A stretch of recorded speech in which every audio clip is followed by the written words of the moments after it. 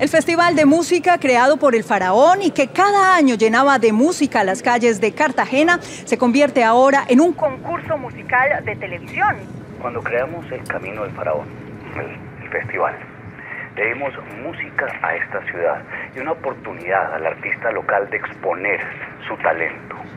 Con esta evolución de un proyecto que ha crecido enormemente, vamos a llevar la magia y la esencia del festival a los hogares de toda Colombia.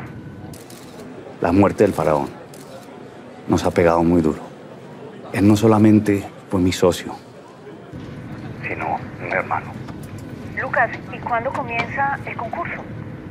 En pocos días. Ya estamos en las últimas audiciones.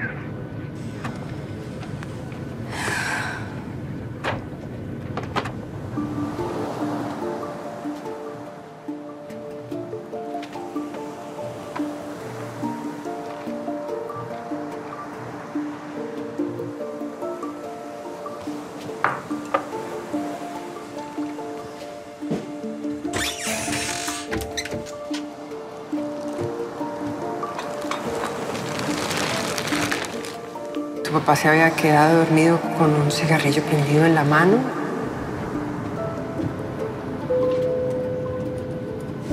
Despedimos a los señores pasajeros que se acomoden, ya que estaremos despegando en instantes. Por favor, verifiquen que su equipaje esté guardado y sus cinturones de seguridad ajustados.